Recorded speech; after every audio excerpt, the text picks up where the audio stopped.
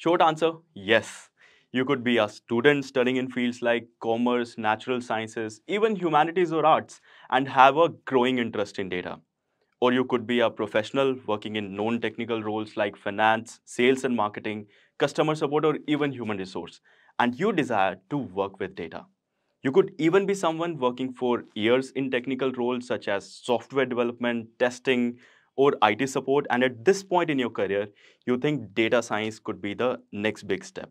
Again, yes, all of you can switch to a career in data science. Of course, if you are coming from a non-technical background, you need to put in those extra yards to catch up on the technical skills. But trust me, guys, it's gonna be worth it for you. Also, remember data science is a family of jobs.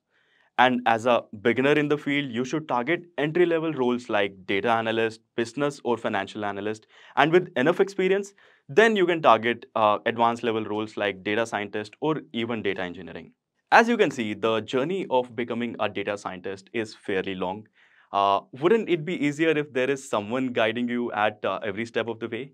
For that, you can enroll in our Black Belt Plus program, where you get a personalized learning roadmap curated just for you along with 50 plus hands-on industry projects, one-on-one mentorship, dedicated interview preparation, and placement support. It's a self-paced course where you can be a data scientist coming from any background, even without leaving your job.